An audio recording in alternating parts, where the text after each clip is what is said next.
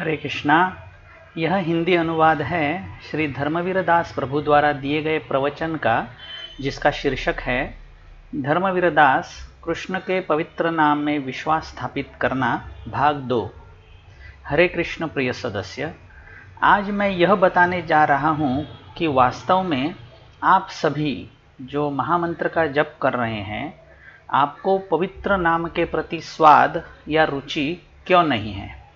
आप में से ज़्यादातर सोचते हैं कि आप इन सभी वर्षों में हरि नाम का जप कर रहे हैं, लेकिन आप केवल नाम अपराध ही कर रहे हैं।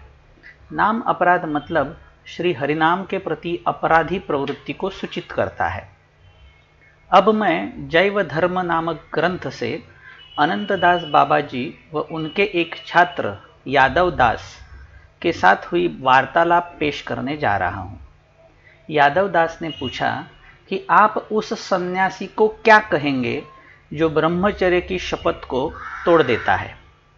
अनंतदास बाबा जी ने जवाब दिया कि ऐसे व्यक्ति को वांटाशी कहा जाता है, जो अपना खुद का ही उल्टी को ही खाता है। यादव दास, क्या इन लोगों को अब वैष्णव माना जाता है?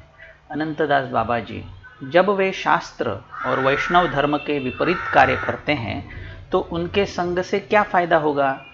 उन्होंने शुद्ध भक्ति को छोड़ दिया है और एक पाखंडी जीवन शैली अपनाई है। यादव दास जी ने पूछा, एक व्यक्ति कह सकता है कि जब तक उन्होंने हरिनाम का जप नहीं छोड़ा है तो उन्होंने वैष्णववाद छोड़ दिया। ऐसा कैसे कह सकते हैं? अनंतदास बाबा जी ने उत्तर दिया, हरिनाम और नाम अपराध दो अलग अलग चीज़ें हैं। शुद्ध हरिनाम आपराधिक जप से काफ़ी अलग है।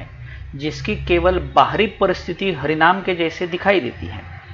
यादव दास ने पूछा, क्या ऐसे व्यक्ति का घरेलू जीवन कृष्ण केंद्रित है? जवाब, कभी नहीं। कृष्ण के प्रति केंद्रित घरेलू जीवन में पाखंड के लिए कोई जगह नहीं है। यादव दास जी ने पूछा, क्या ऐसा व्यक्ति गृहस्थ भक्त से कम है? अनंत दास बाबा जी ने कहा, उन्हें भक्त भी नहीं माना जाता है। इसलिए हम उन्हें किसी भी भक्त से तुलना नहीं कर सकते हैं। यादव दास जी ने पूछा, उसमें फिर कैसे सुधार किया जा सकता है? अनंत दास बाबा जी ने कहा, उन्हें फिर से एक भक्त के रूप में तब गिना जाएगा, जब वह सभी अपराधों को छोड़ के लगातार श्री हरिनाम का जप करेंगे और पश्चाताप के आँसू बहाएँगे। इस वार्तालाप से यह स्पष्ट है कि आप में से अधिकांश हरिनाम का जप नहीं कर रहे हैं। और इसलिए हम में से अधिकांश का जप करने में कोई भी रुचि नहीं है। इसलिए शिल प्रभुपाद ने हमें इस्कॉन में सिखाया है कि हमें पवित्र नाम के खिलाफ जो दस अपराध है, उन्हें समझने के लिए हर सुबह प्रार्थनाओं का गान करना चाहिए। दुर्भाग्यवश, हम में से अधिकांश सिर्फ़ तोते की तरह प्रार्थना करते हैं, और तथाकथित वरिष्ठ भक्त भी तोते की ही तरह इन प्रार्थनाओं का गान करते हैं। दरअसल, जो सारी प्रार्थनाएँ हम इस्कॉन में गाते हैं, वह एक तोते की तरह गाते हैं, जैसे गुरु अष्टकम, तुलसी प्रार्थना और शिक्षा अष्टकम। जैसा कि मैंने देखा है कि आप में से अधिकांश को शुरुआत से ही शुद्ध कृष्ण चेतना में फिर से प्रशिक्षित करने की आवश्यकता है। यह उन सदस्यों को पुनः शिक्षित करने के लिए एक बड़ा काम है, जो पहले ही गलत तरीके से प्रशिक्षित किए गए हैं।